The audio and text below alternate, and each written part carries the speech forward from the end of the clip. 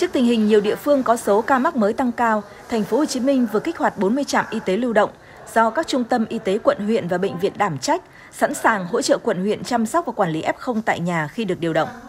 Các bệnh viện công lập và tư nhân sẽ luân phiên bác sĩ điều dưỡng đến công tác tại các bệnh viện giã chiến thành phố, đặc biệt bệnh viện giã chiến 3 tầng. Củng cố và duy trì đơn vị hoặc khoa COVID-19 để sẵn sàng tiếp nhận F0, các bệnh viện tầng 3 sẵn sàng tiếp nhận bệnh nhân chuyển lên từ tuyến dưới. Thành phố Hồ Chí Minh cũng thành lập các đội phản ứng nhanh nhằm điều tra và kiểm soát dịch tại các địa bàn nóng, nơi số ca mắc mới đang có chiều hướng gia tăng. Các đội phản ứng nhanh do Trung tâm Kiểm soát Bệnh tật thành phố đảm trách